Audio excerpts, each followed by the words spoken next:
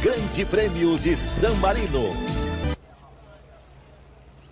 Bem, amigos da Rede Globo, falamos ao vivo do circuito de Imola, Itália, onde daqui a pouco nós vamos curtir juntos em todas as suas emoções.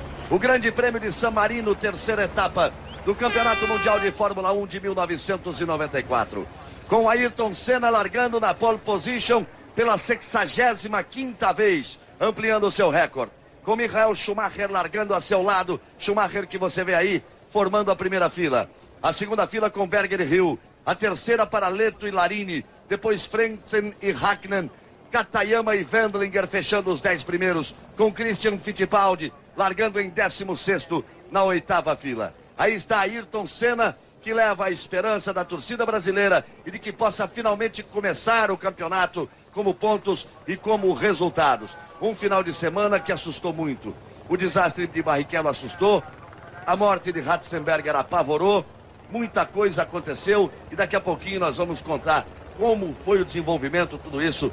Os dois dias ficaram para trás, fica a esperança de uma grande corrida e de que tudo possa acontecer de forma normal. Já já voltamos ao vivo aqui de Imola. 94 Copa do Mundo. A Globo é mais Brasil. Globo e você, tudo a ver.